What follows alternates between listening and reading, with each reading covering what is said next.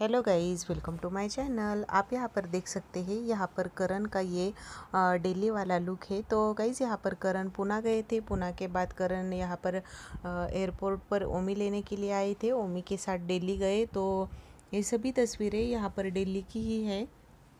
और करण ने यहाँ पर ब्लैक सूट पहनकर रैम्प वॉक भी किया था। काफ़ी क्यूट लग रहे थे करण, काफ़ी अच्छे लग रहे थे, हैंडसम लग रहे हैं करण यहाँ पर, आप देख सकते हैं। तो ये करण की पुणे की तस्वीरों के बाद की दिल्ली की यहाँ पर तस्वीरें हैं।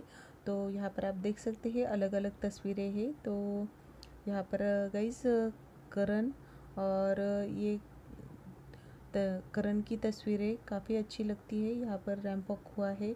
तो गाइस यहाँ पर आपको कैसी लगी ये वीडियो कमेंट करके बताना और ऐसे ही तेज रन के वीडियोस देखने के लिए चैनल को सब्सक्राइब करना, वीडियो को लाइक करना ताकि आने वाली अपडेट आपको डेली मिल सके तेजरन के वीडियोज़ मिल सके।